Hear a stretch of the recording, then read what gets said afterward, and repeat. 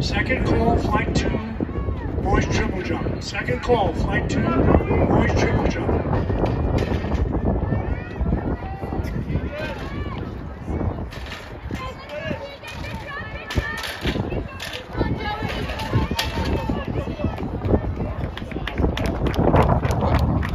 Nicole Oliver, Regis Jesuit, the first heat.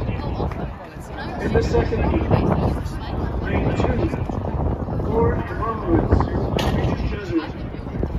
Three, Brandon Martinez. Berkeley, 94.